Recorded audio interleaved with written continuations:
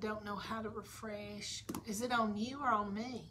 Well, it's my account looking at your wall. Okay. So it will I'll find it. very confusing. That's better than superstition. Is it on you or on me? Mm-hmm. Good. Well, it's still not loading. There we go. Maybe that did it. There it is. Down. There we go. There's Mary. Hi, Mary. Hello. Maybe it'll work tonight. How's everyone's week going? Well, I hope. We do look dark from here down. Yeah. Why is that? Let me see if I can just allow you tell me if it looks better or worse. Dark. Hang on, it's delayed. Go up, up, up, up, up. Doesn't look any different. I don't know if you're going up or not. Hello, Cheryl and Robert. That's good. Just stop right there. I don't think it changed anything, but how are y'all? hey, Carol. Hey, Miss Mary. What do you think?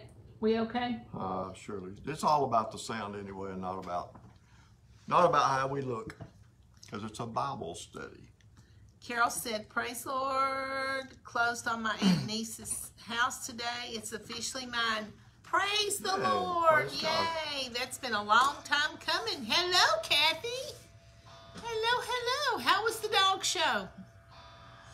I watched a little snippet on YouTube and a, a bloodhound one, which I just found fascinating. It was a beautiful bloodhound. every dog has its day, right? Couldn't help You are so cute. Oh, she won an award of merit. Praise the Lord. Double praise reports Golf tonight. clap. Carol got her house, and um, Kathy won at the Westminster Dog Show. Yay! I'll look. I've been gone all day, Kathy, so I hadn't had much time online. It's so good to see everybody. Okay, I'll stop chit chatting.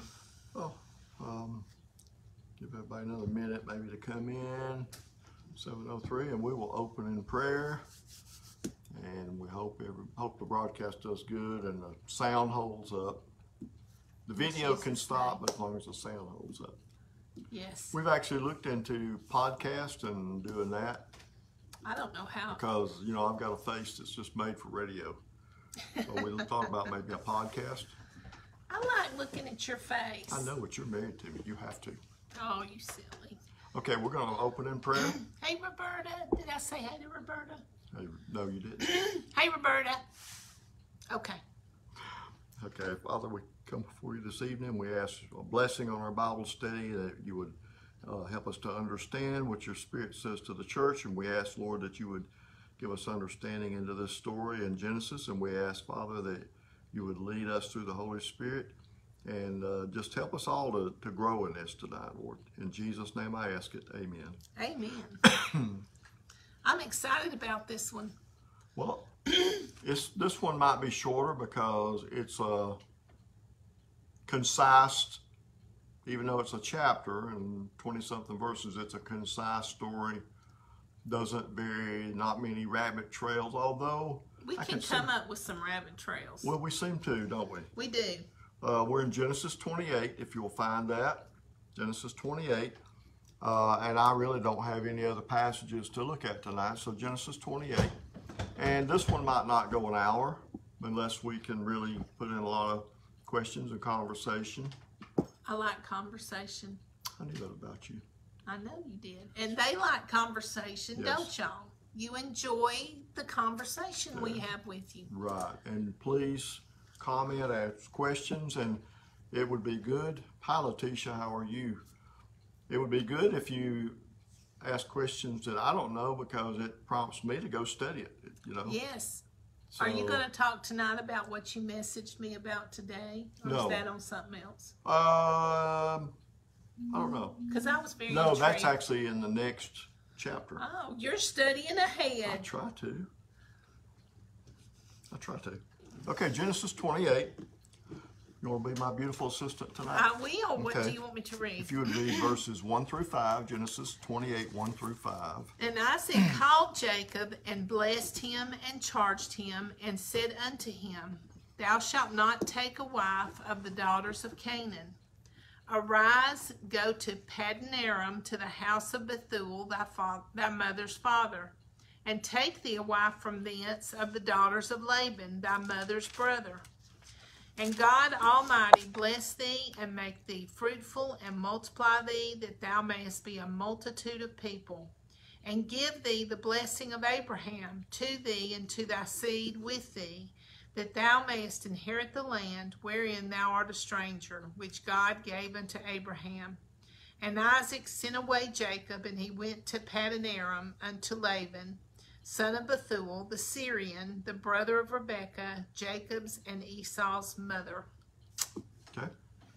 Um, bringing everybody up to date if you've missed the last study or have not been following us, either way.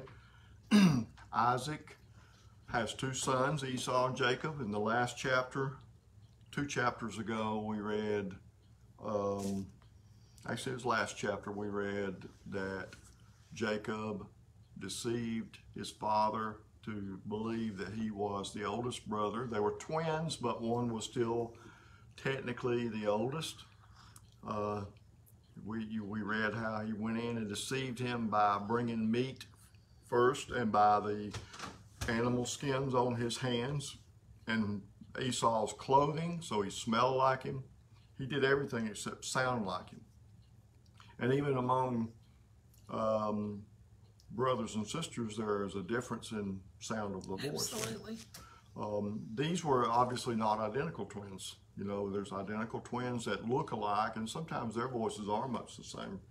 These were not. They were different looking, different, obviously different acting, but Isaac liked Esau and Rebecca liked Jacob. Now, here we find that in the, in the last passage of 27, Esau has said, whether he said it under his voice or somehow the somebody in the house heard and they went to Jacob and let him know that your brother's going to kill you as soon as your father's dead.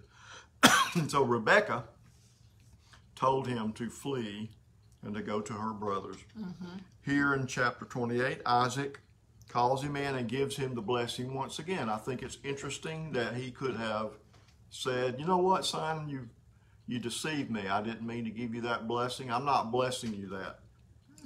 But the words that he said were said. And that's one thing I mentioned last time is we've got to be careful about our words and how we say them. We can hurt feelings or like the proverb says, life and death is in the power of the tongue, right? Everything that we say has power. It has importance. Um, maybe you've experienced this. I don't know how many times people have mentioned to me, you know, I want to tell you something. You know, 15 years ago, you stopped me in the hall and you said this, and it changed my life. Have, have you ever had that happen? Oh, yeah. And we just, it was just, I was headed to get coffee on the way back, you know? Yeah. We didn't understand that it was something that we said.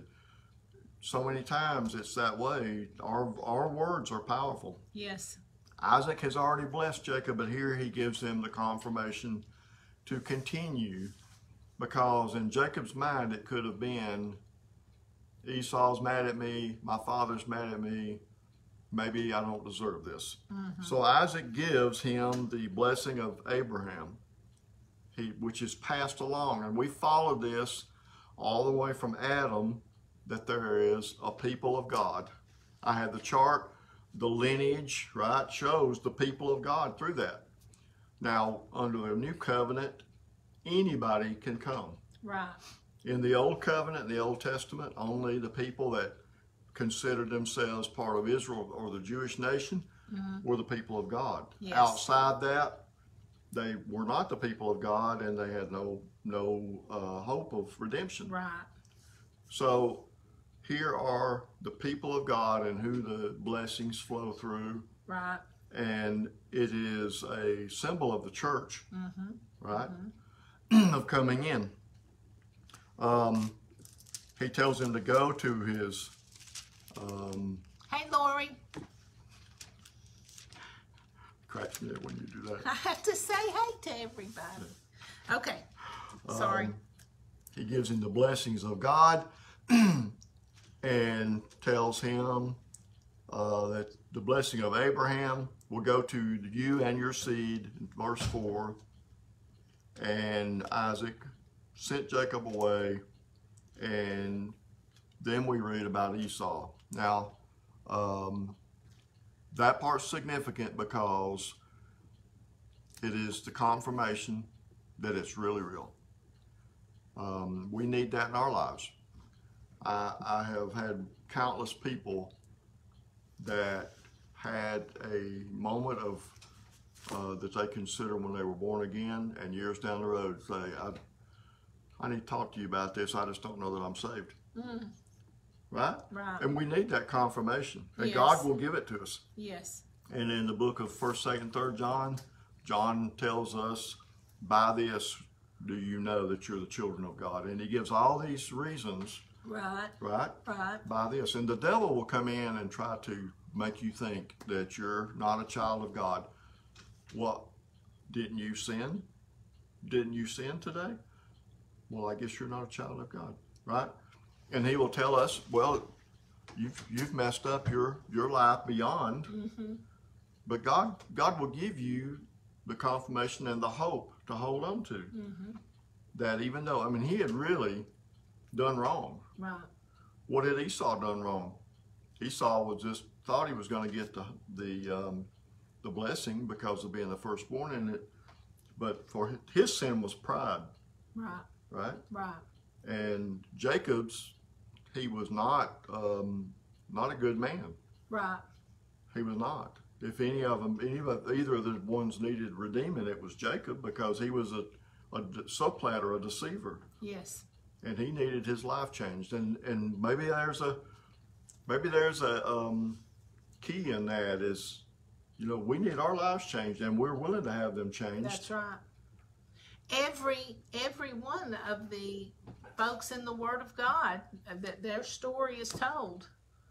They all needed Jesus. They all needed God. right They were all mess ups. They messed up everything. that's right So we're in good company. we sure are and nobody's nobody's uh you know even close to perfect That's right. The only one that was was that was close to perfect was Job. right And Job still had to face a, an onslaught of tragedy, mm-hmm. but he held on to God. amen Held on.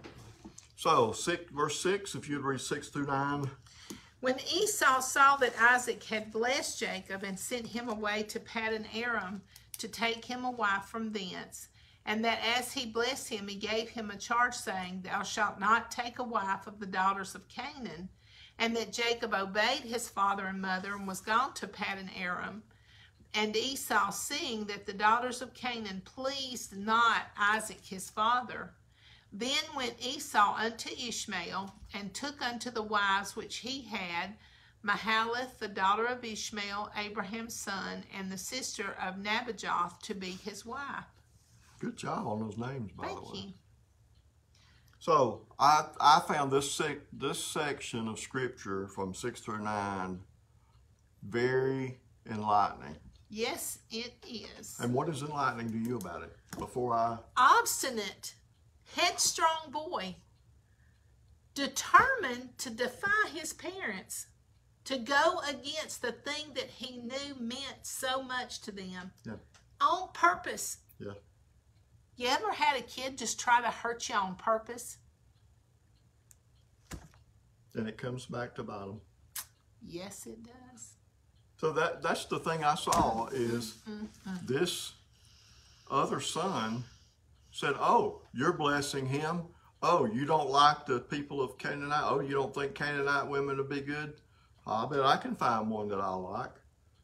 And it is very telltale of mm. someone who's in rebellion mm. because if I say left, they're going to go right. If I say, you know, stand up, they're going to sit down. And, And who does he go to but the other brother, The- Ishmael? yes, the other brother. The other family member that had mocked Yeah. his father, that's the one he goes to.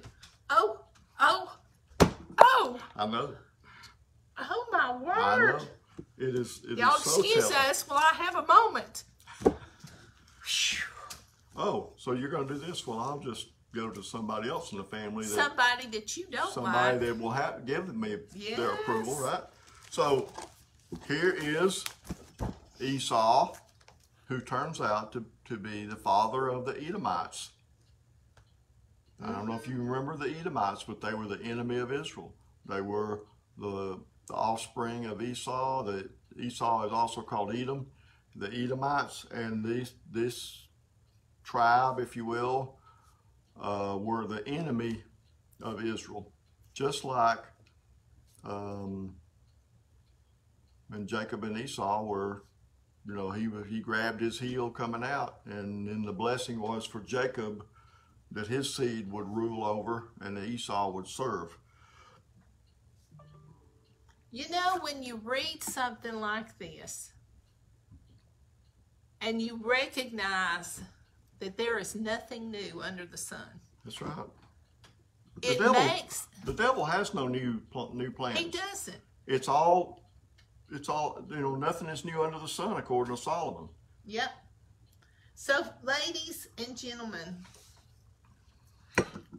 if this is something that has occurred in your life, you are right up there with one of the fathers of Israel. That's I right. mean, you are right there with them. So that should give you encouragement. That's right.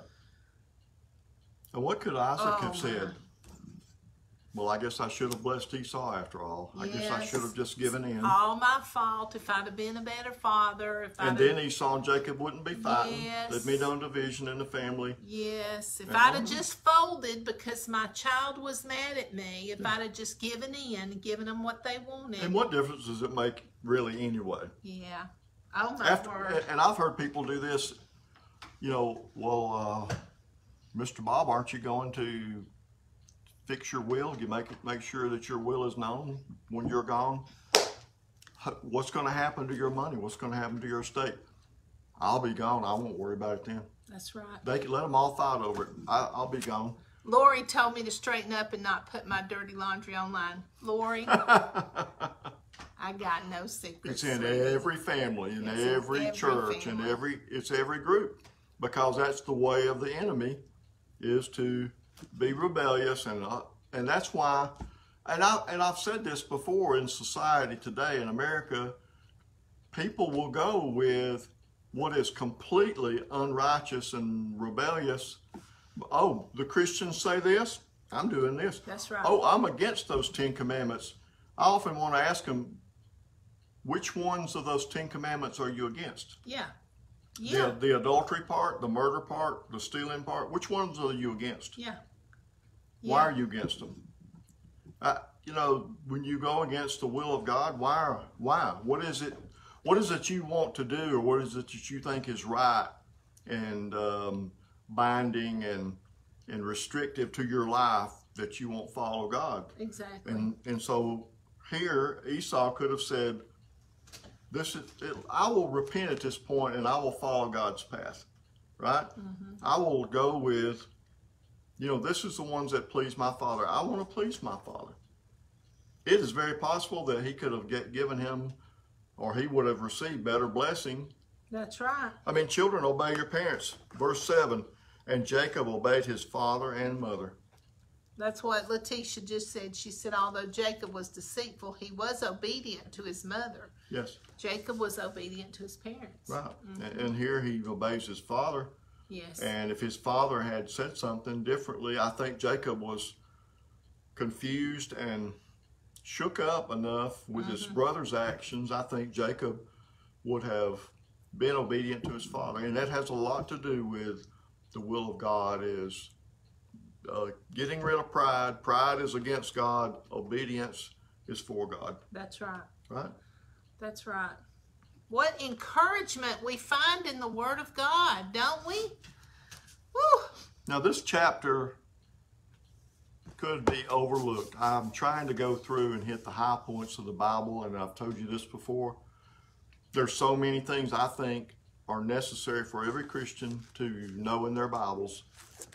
This, uh, It is hard to leave one out though, because there's such truth, and it, there's nothing in there by accident. right, That's why it's so important to read the entire Word of God. Battery is low. tell it you don't care. I don't care. Um,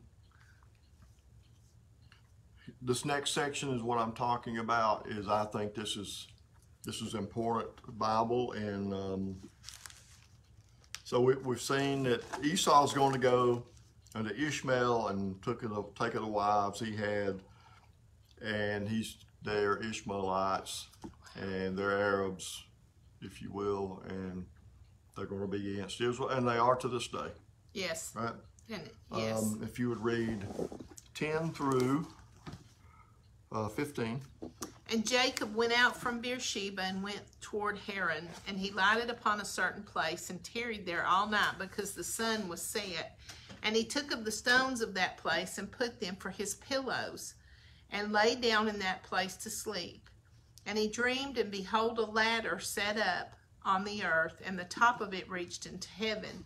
Behold, the angels of God ascending and descending on it.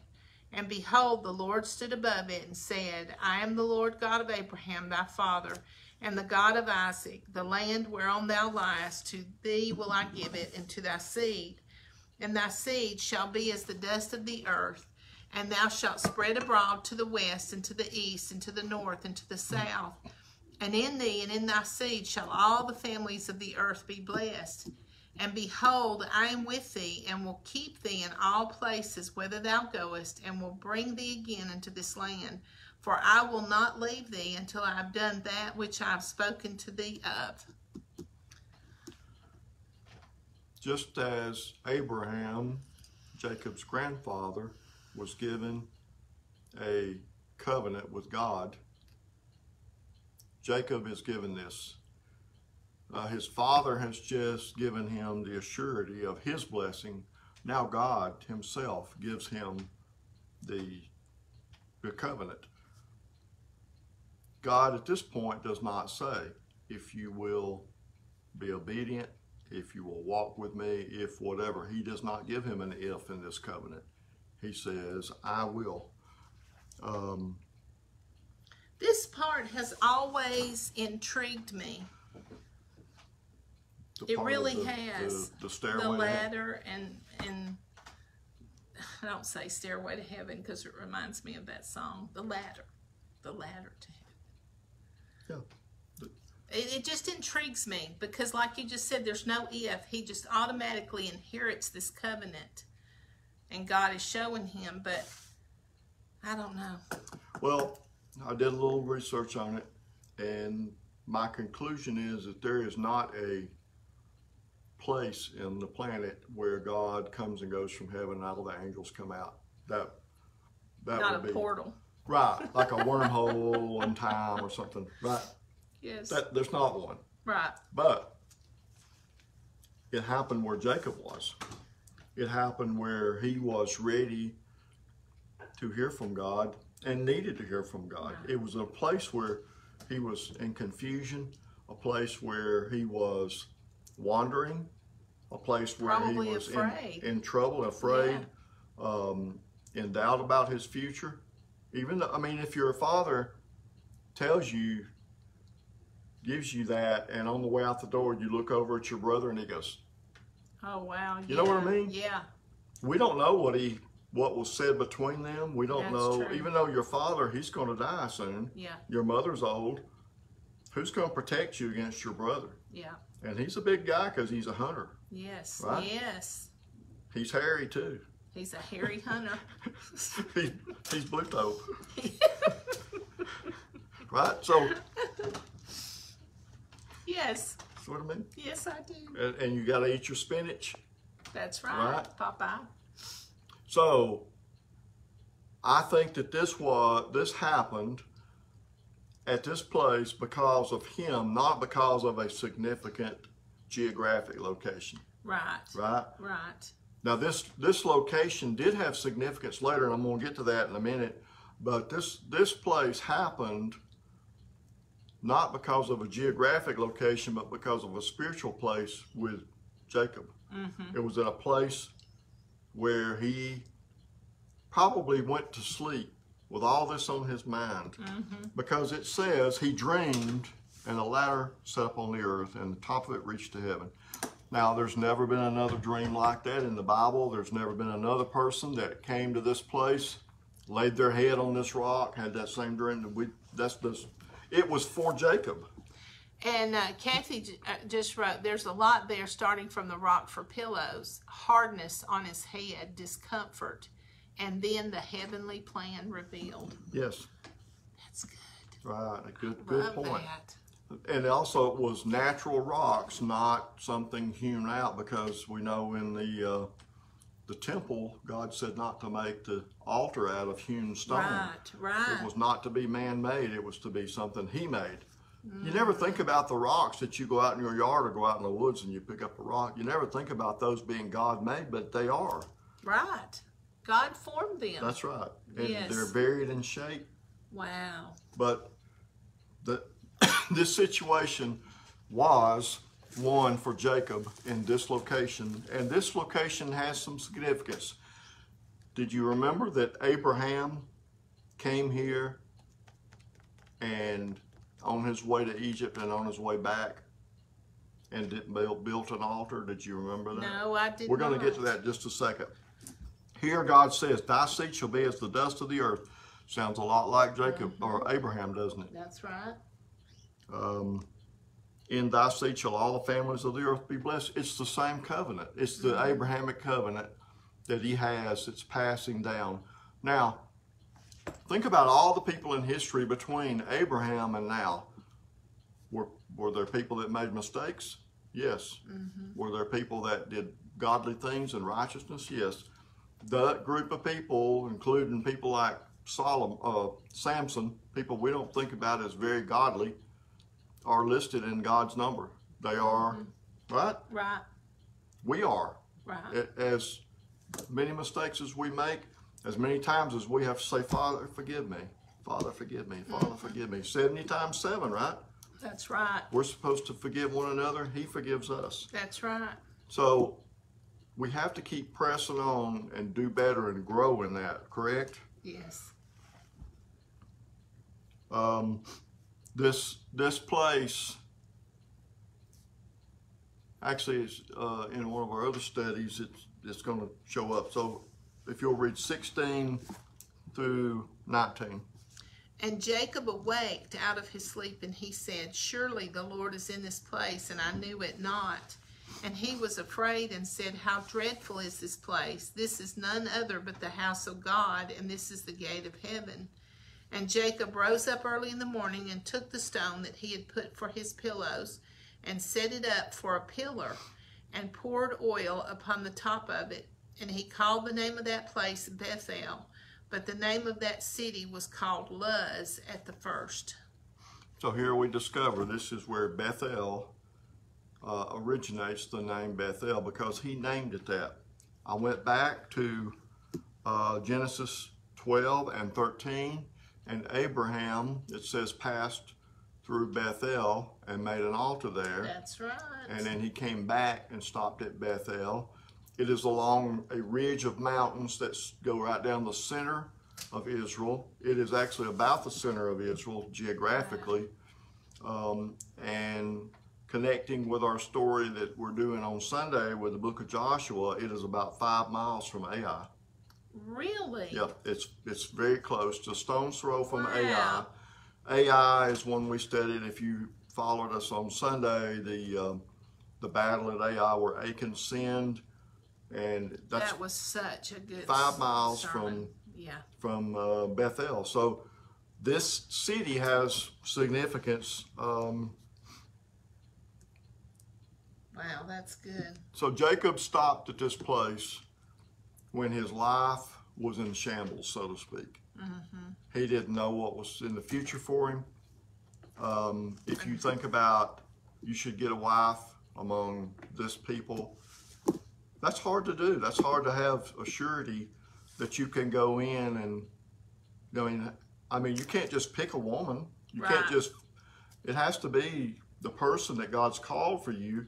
That's why the the servant, when he went out to find Rebecca, Yes. he was so unsure and so he was so um, nervous about finding the right woman for for Isaac. That's right. So here, here's a man that goes out and he just he's not quite sure if he has this blessing or not. His father spoke it. His mother patted him on the head and sent him away, and his brother is leering at him as he goes, and he leaves this place where he's grown up, his hometown, his just like Isaac did. right. Got comments? I don't know what that was. No, no more since Kathy. Okay. Um, he calls it Bethel, which means house of God. The stone that he took, he made into an altar, um, poured oil on it, and he says, How dreadful is, is this place? It's the gate of heaven, it's the house of God. As I said a few minutes ago, I think that it was not a geographical wormhole or what was that you called it? Portal. portal into the spiritual matters. Elsewise, everybody through time would have gone through there, Yeah. and and that would have been our mecca, right? That would have been our place. Um, the most mentioned city in the Bible is Jerusalem, and the second most mentioned city is Bethel. Wow. Yes, but Bethel is not mentioned in the New Testament.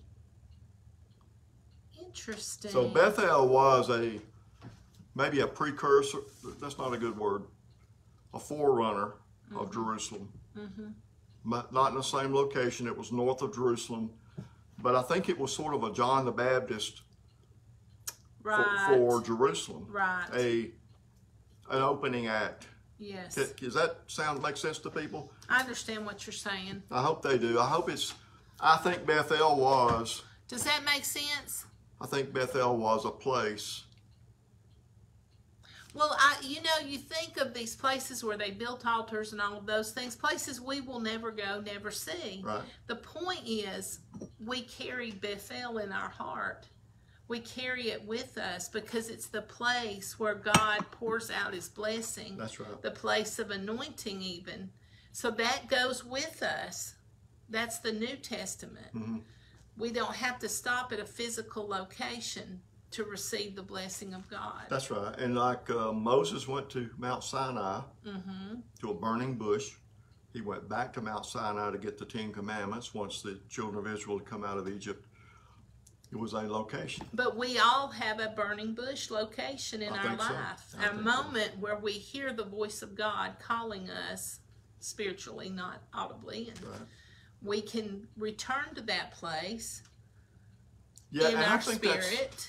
to me that's the it's a catalyst in our lives to get us kicked off in the right place. Yes, It's something to that God will bring back to remembrance. yes, a moment in time. a moment in our life that we that we can go back to. God has Yes. God has reminded me of things so many times that I had forgotten, and I will start feeling down or need hope or whatever, and God say, "Didn't I tell you? Do you remember this place?"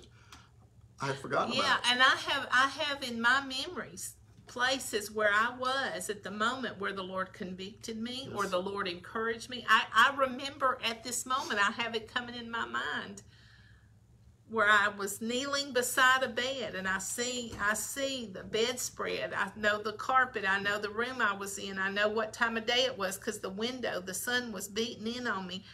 That is a Bethel for me Mhm. And it will always be in my spirit. I don't even know if that house still exists anymore, but in my spirit, that place was a Bethel. That's right. I can go to the physical location on a piece of property right now where I was saved, but I but the building's gone. It was a little shed that my dad had turned into a laundry room. but it's a- always here. it's here. Right. That's right. And um, I remember Bob Harrington the chaplain of Bourbon Street. If you have ever listened to his testimony, I grew up listening to this LP album, and he was funny as he told his testimony, and we listened to it over and over again. And um, he he was uh, he was a bad uh, guy, alcoholic, and his wife was about to leave him, and he went to church service, and he got saved. And when he was leaving, uh, he stopped by got stopped by a police officer for speeding, and the police officer was, you know, where you where are you going in such a hurry? And he began to tell this man, you know, I, I, I I'm sorry I wasn't paying attention, but you you don't understand. My life has been a mess, and he he basically told the police officer what had changed in him. His testimony. Right, he gave him right there, and the police officer said, "Well, that sounds like something I need to happen to me." And Bob Harrington said, "Well, I'll tell you how to get it. If you go down to that Sweetwater Baptist Church and sit on the seventh pew on the end, he said you'll get it." And you know Wow. that was a simplistic thing, and that's the way we think. We think this is the condition I was saved in. Right. This is the condition where I felt God, and we felt like, well, you've got to do that too, Yeah. right? Well, you and and folks, people are saved in all walks of life. In every, I mean, you could be at work on your on your coffee break. You could be in the middle of doing some report for your boss. You could be in some time constraint. You could That's be at a hospital in the middle of the night in the waiting room. Uh, you could be in the middle of a sound sleep and wake up and God speak to you. You all out hours of the night, all days of the year, all places on earth, God will speak to you. Amen. Amen. Right? So I don't want us to get bogged down on Bethel, but what is Bethel for us? Amen. Right? What's Bethel for us, and where will we find our Jacob's ladder? That's right. Right? That We, is so we sang powerful. Jacob's ladder. Uh, well, actually, it's one of our songs in rotation. We need to sing it again, but that's that's such a great song. And um, when you think about, and, and I, I wanted this chapter to be in because I think all Christians need to know certain things in the Bible.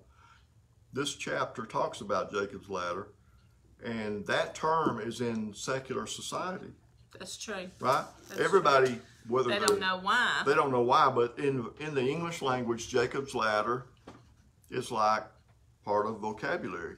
So I want you to understand where the where the term comes from if you was not aware of it. Kathy said, Oh, Angie, I can so relate to those precious moments. Some were where I thought the darkest times, some were times of praising with such gratitude, but I can feel them still. I love this connection to Bethel.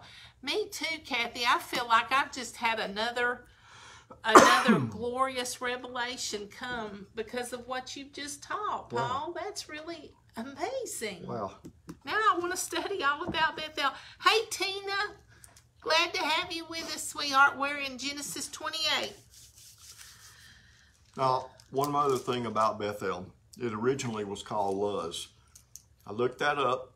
Luz means almond tree. So it was probably a place where an almond tree or an almond grove was. That was it was named um, like we would say canyon or grove or oak grove. I, I have a oak grove site I go to. Obviously, it was named after an oak grove. Here was a place that was known by what you could see, and it became a place known by what you couldn't see. Go right No, over. no, no, no. I'm thinking, isn't in the in the Ark of the Covenant wasn't Aaron's rod An an almond. almond that Yeah. sprouted? Yeah. What if it was from that tree? Oh, I just saw the hair oh. on the back of your neck stand up like a dog. more to study. more to study. Oh my. Well, it, it, the almond is significant in Israel, right? So Oh, here, my. so here is Bethel. It's a, and I want, I wanted to bring that out because God changes names. He changes names of people. Saul to Paul. Yes. Jacob is going to have his leave name the old changed. behind and step into the new. Exactly. Abram is changed to Abraham. This is a night of revelation.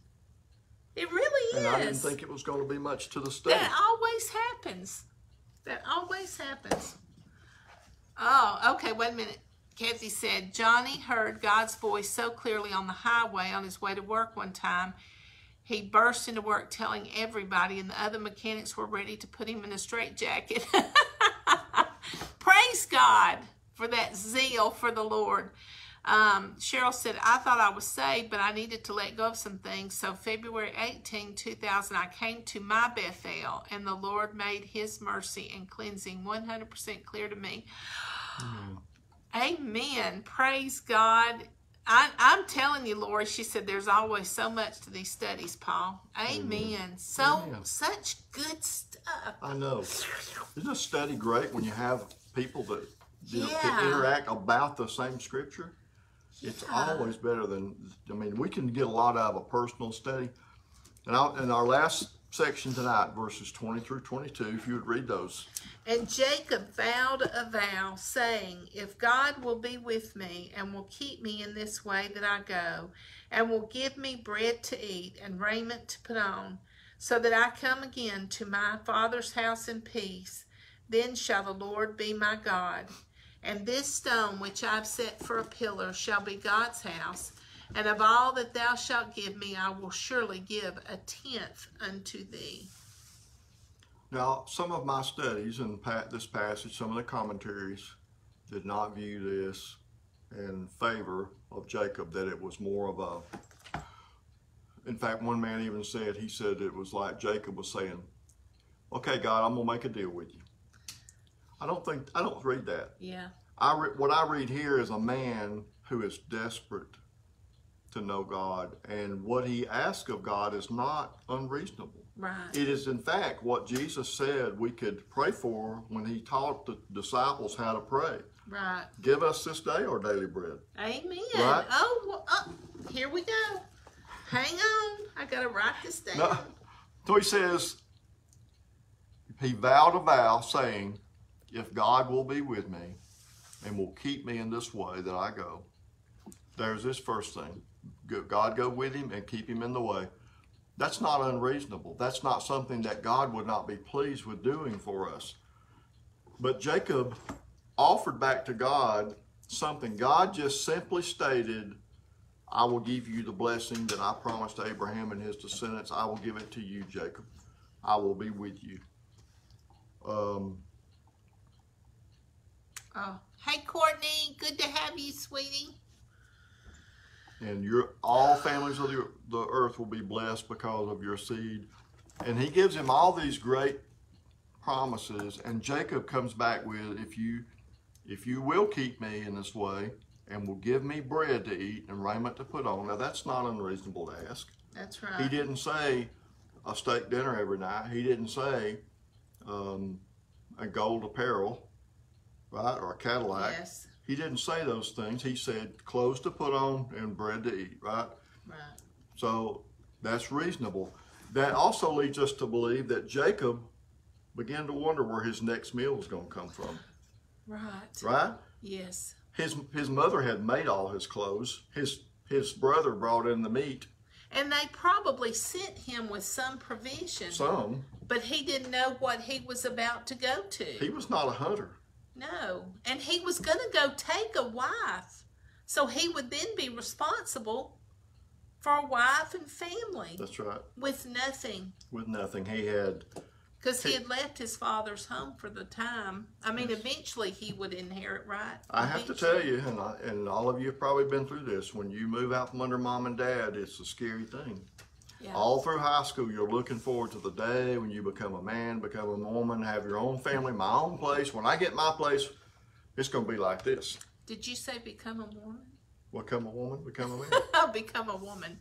It sounded like you said become a Mormon. become a, We're a not man or a woman, or however you however you thought about it in high school. There was a day you dreamed of, and then you stepped out that door. Yes.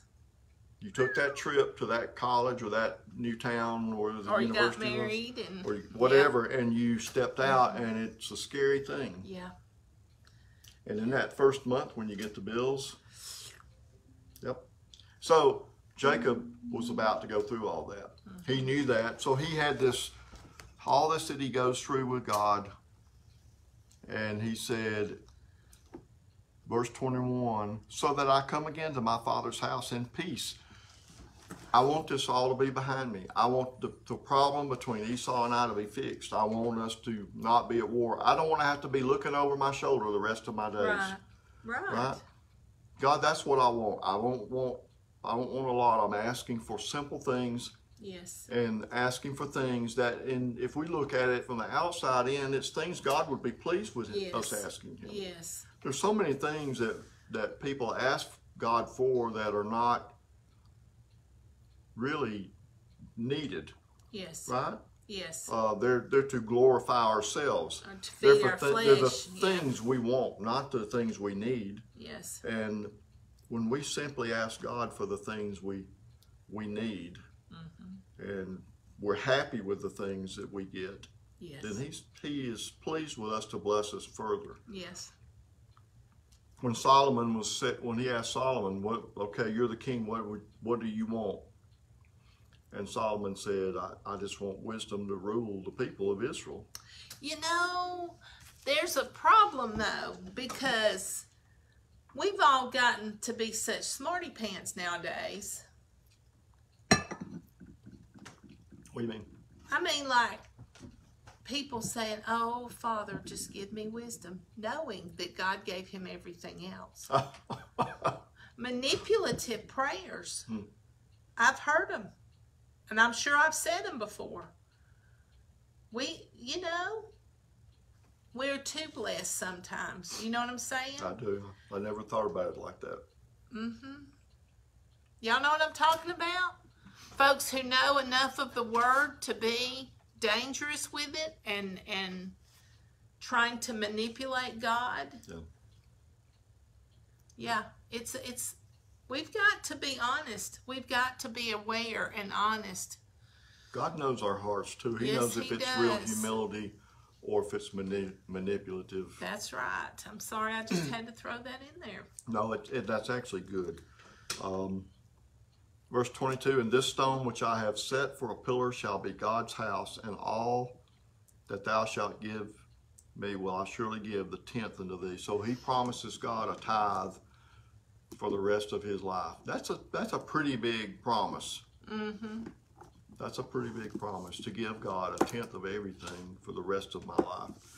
It shows that he wanted to serve God and that he wanted to do something for God. Right? I mean, isn't that the heart that we have when someone shares love with us? What can we do for them, right? Right. If someone brings you a present at Christmas time that was not on your list, you're immediately going to be thinking about what you could give them. Oh, I am. You know? I am. I'm like, you got to keep some extra gifts just in case, because you don't want to miss anybody. You don't want to miss and anybody. and God blesses us. hmm What can I do for you, Lord? Yes. That that is the true the true heart of someone right. to return love. Right. Love is returned when it's received like that. Yes. Yes. And in the New Testament we read it is your kindness that leads us to repentance. Yes. God's kindness led us to repentance, not his justice or his anger, but his kindness. There's such a fine balance there, though, because so much of God's righteousness is, and His, oh, I know I'm going to get it for this, His requirement for righteousness has been thrown out. You know what I'm saying? I do. I know where there's you're going. justice and judgment and that it's important and there's mercy and grace and and you don't you can't get off balance with it it's too off balance now everybody's preaching and and yelling grace and mercy grace and mercy grace and mercy which it is but there's still got to be obedience and righteousness mm-hmm. And I'm not and justice and I'm not sure I'm not sure help me because I'm not sure why that's so hard for folks to understand. Well, we want our flesh wants the easy path. Well, of course, but even anybody with any sense in their head knows that it can't always be easy. No, and it it it's a toggle over like I, I've been preaching on Joshua. It's a toggle over in your mind of the maturity level of obedience to God, of a serving soldier, serving, a servant at heart. That's what it toggles over to. And you, your mind, you can see it in a child when they grow up. You can see a child go from they they react to something instead of being proactive, or they react instead of uh, living the right way. They have to they have to be um, disciplined into something, or they only do it. They're only obedient when mom or dad's watching, or when the police officer's Right. got his radar gun out. Right. Right. Right. Um, there's a there's a level of maturity that people go over into, and the people of Israel did it when they crossed into the wilderness, and then they when they went to the Jordan. There's a level that people had reached. They had thrown out all their childishness. When I was a child, I spake as a child and I thought as a child. But when I became a man, I threw away childish things Yes. there's a level where people do that and they they reach a level of I love God. I really love him and I will do anything. So really, it is uh, an evidence of your maturity level I think so. of whether or not you recognize that you you need some trials and it's okay to have some trials in your life because it forms you into Christ. Right. I think that when that all of us when we're Well, not forms you into Christ, but makes you more the Christ-like. Christ, yes. yeah. I, I think that all of us when we're immature Christians have an immature attitude about things. I think that statement of Paul's was not just about things of the flesh, but it was about things of the spirit too. Mm-hmm. We don't pray like we should. We don't read our Bibles like we should. We don't witness like we should. We aren't obedient and listening to God like we should. We crank up every noise. We get every every little uh, toy in the world. And there's some part of your life as a Christian where you realize that is not um, something that brings you joy. Right. It's unfulfilling to live like that. And you're really no different than living like the world. And then there's a place where a Christian that's growing will move over into, um, I just want to serve you. Yes. I don't care about the house. I don't care about my job. I don't care if people leave me. I, I just want to serve you. yes. And that is, I think that, that it's in, um, even in something, a microcosm in marriage, because a husband and wife that get married very often get married based on physical attraction. Right. Well, he had never seen her with the stomach virus, you know? Yeah. She's never seen him when he first gets up and has morning breath. Yeah. You know what I mean? Right. They've not seen each other like that. Right. Uh, they've not had their first, all they've had is dates and all they've had is sweetness and all they've had is candy and cards and flowers. And um, he buy, she buys him a new tie and he buys her, um, you know, something, some present. And you know what I mean? It's all Yeah. the romance, romance stuff. And when you get married, it's not that way. When you That's get right. married, there is a, hopefully there's still romance, but there is a different level of, of relationship where if that husband grows to love the wife, truly love her, he wants to serve. His life is about what can I do for you? How can. I help you? That's right. When I wake up in the morning, you're on my mind. Now, he thought it was before. Mm-hmm. Before they were married, he thought all he thought about was her, but it was not the, the spiritual, The sacrifice. the sacrifices. It was all really what's in it for me. It's emotion. Right. It's emotion, and yeah. Right, and she's the most beautiful Yes. woman I ever saw. And I will, I will draw attention when I walk in a room with her on my arm. People will all look to me and they say, "Who is this man that can attract a woman like that?" Yeah. It's ego, Yeah. and when when that marriage goes on, it either grows together or it grows apart. Right. That's And, so. and our relationship with God is that way. Yeah. You're, you're off camera. You're going to have to come in closer. Oh, I'm sorry. Okay, Kathy said tithing doesn't always have to mean money. We all have a way to give. Yes, ma'am. Yes, ma'am. Courtney said, Yes, that's so true. I used to have a hard time receiving for others. I felt unworthy. I thank God I've come to understand God works through his children. Um, Tina agrees. Kathy said, What you two give to us right here is priceless to me. It helps me on my walk with the Lord so much. We love you. Um, the worst times in my life taught me the most and to seek Him first. Absolutely. Absolutely. I thought about carrots. You thought about carrots? I thought about carrots. you mean like in diamonds? No, like in carrots that you eat, Bugs Bunny carrots. Okay. Because it's been on my mind lately because I want to get a new bed ready for this fall to plant carrots. And and the thing is, the here's the thing about carrots. If you've never grown them, let me give you a little hint. Carrots need soft soil in order to penetrate nice straight carrot roots. But that's not all there is to it because if you if you have rocks and stuff in that soil a carrot root will go down and it'll bend. It'll shape itself around and, and if it's really blocked by hard pan soil it will just be stubby. It won't grow that nice long root. But